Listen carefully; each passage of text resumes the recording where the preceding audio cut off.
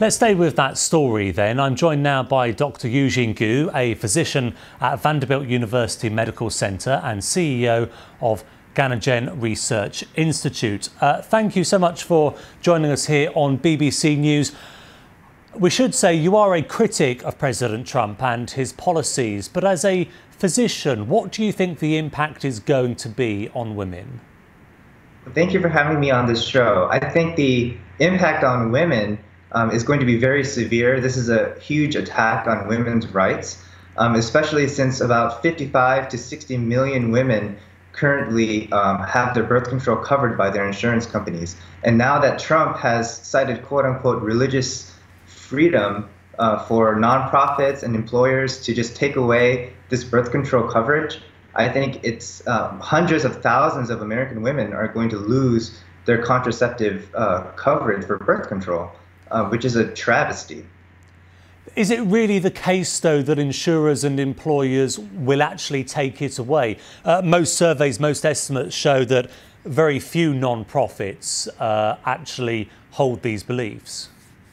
It's, it's hard to predict, and it's also even harder to predict how many insurance companies, just for profit motives, may drop uh, contraceptive protection uh, just to uh, you know help their bottom line. So it's it's I don't know even how many companies and nonprofits will just do it not just based on only their moral or religious beliefs, but you know to help their costs. Do you have any sympathy for? Can you understand the point of view for those who hold deep-seated religious views that they don't want their businesses, their organisations to be part of providing birth control? That's a very great question. And what I would say for that is uh, these same people who have these highly held religious beliefs, they are also very much against abortion, right? And so birth control pills um, are actually very effective in, um, you know, their namesakes as birth control. So they're effective at reducing unintended pregnancies um, when used correctly. So by um, taking away coverage for birth control and taking away birth control from women, we're going to have an increase in the number of unintended pregnancies and by then by that consequence abortions as well. And for a party for the republicans to say that they are pro-life and then to take away you know contraceptive protection and, and increase and encourage abortions i think that's not just ironic but it's just it's just a terrible horrible attack on women's rights.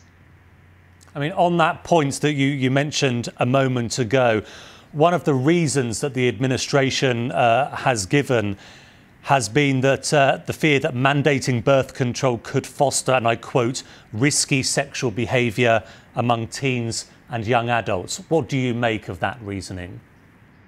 Uh, what I make of that is that's a very almost a misogynistic view on how women behave. You know, women are, they have fundamental human rights. They are people who are in control of their own bodies. And you, you know, saying that this will promote risky behavior is not just not only is it unscientific, but it's taking autonomy away from women over their own bodies.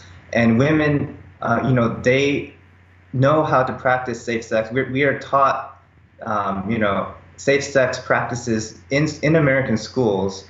You know, and to assume that women will just uh, do all kinds of risky behavior uh, and you need to legislate how to control their bodies, I think is just a very wrong move. And on top of that, you know, this religious freedom, quote unquote, exception is not only an attack on women's rights, but also on LGBT rights as well. Because this is a slippery slope that uh, who knows what they can say about, hey, you know, what if uh, you have a religious exception to gay marriage or, you know, treating a gay person? So this is just eroding rights for everyone. Okay, Dr. Gu, thank you very much for speaking to us. We do appreciate it. Thank you for having me.